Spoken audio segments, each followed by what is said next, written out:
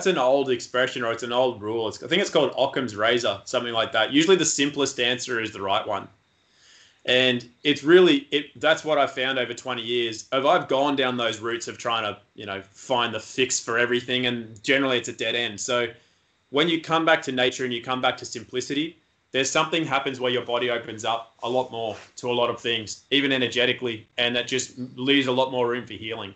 So I just I like what you said, where it's almost like in every situation, the simpler something is, the better. And more we have to go more complex and trying to break things down, generally that leads that's a that's a dead end road in my experience anyway. It's been a dead end.